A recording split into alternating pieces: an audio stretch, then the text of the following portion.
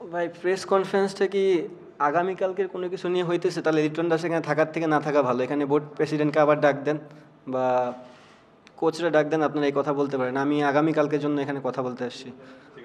বুঝতে পারলাম না কোশ্চেনটা মানে আমি ব্যাটিং যখন করব, তো আমি অ্যাজ এ ব্যাটসম্যান যখন আমি ফিল্ডিংয়ে নামবো, আমি দলকে হ্যান্ডেল করার চেষ্টা করব। এটাই তো একটা ক্যাপ্টেনের কাজ।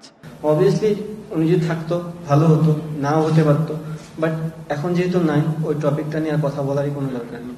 আমার কাছে মনে হয়।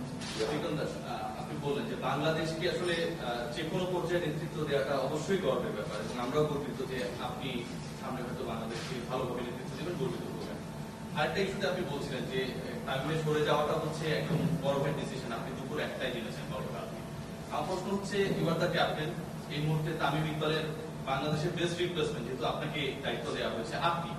তামিমের এই যে চলে যাওয়া, সরে যাওয়া, আপনারা দুপুর একটাই জেনেছেন। মানে এমন কিছু একটা হয়েছে যে বড় ভাই যে জায়গাটা একটু ছোট হয়েছিল, যে কোনো হয়তো ডিসিশনটা নিয়েছে, আমরা সেটা আইডিয়া করতে পারি। এই যে ম্যাচের একদিন আগে লিটন কোচ হচ্ছে বিসিবি প্রেসিডেন্টকে তালিমের, তামিমের নামে নালিশ করলেন চিল্লা চিল্লি করলেন, এটা পাপন ভাই গতকালকেও বলেছে।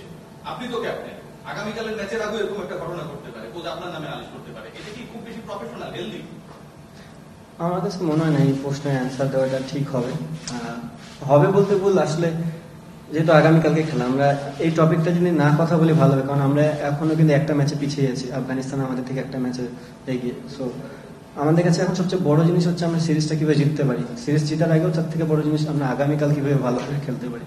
তো আমার মনে হয় আমাদের সব টিমমেটরা একটা জিনিসের প্রতি ফোকাস করতেছে যে কি ইনফ্যাক্ট বড় ভাই কিন্তু একটা জিনিস বলে গেছে যে টিম ফার্স্ট উনি কিন্তু যেতে যেতে এই কথাটা বলে গেছে যে আমরা টিমের জন্য খেলি, টিম ফার্স্ট সো আমার কাছে মনে হয় না এটার এখন কোনো পয়েন্ট আছে।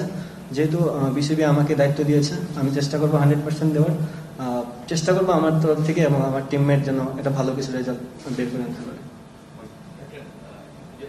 একটা ম্যাচ এবং আমরা একটা ম্যাচ হেরে আছি ডিফিকাল্ট সিচুয়েশন এবং এই সময় একটা বড় ঘটনা তামিমের যে ঘটনা ঘটলো।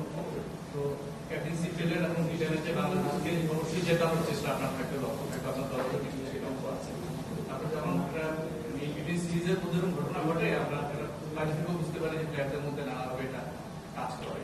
তো আপনাকে ক্যাপ্টেন এই দুটা ম্যাচে অবশ্যই জিততে হবে এরকম ম্যাচে এর আগে এরকম একটা ঘটনা ঘটে যাওয়ার পর নর্মালি আপনি ক্যাপ্টেন হিসেবে টিমকে মোটিভেট করার চেষ্টা তো করবেন এখন কি একটু বাড়তি চ্যালেঞ্জ বাড়তি কিছু বলতে হচ্ছে কিনা, আপনার টিমমেটদেরকে বাড়তি কিছু করতে হচ্ছে না, দেখেন, আমি বললামই যে প্লেয়ার কিন্তু সবই একই আছে। আমি, বড় ভাই কালকে যে ঘটনাটা রিটায়ারমেন্টের ঘটনা না দিয়ে যদি দেখতে পারতেন আমরা ইঞ্জুরি তাহলে কি এই প্রশ্ন আসতো? কখনই আসতো না। আমরা সেম টিম থাকতাম সেম ওয়েতেই খেলতাম। আমার কাছে মনে হয় যে জিনিসটা, ওই জিনিসটা বাদ দিয়ে আমরা এখন সামনে কি করতে পারি? যে জিনিসটা চলে গেছে ওটা নিয়ে আসলে তাকায় লাভ নেই।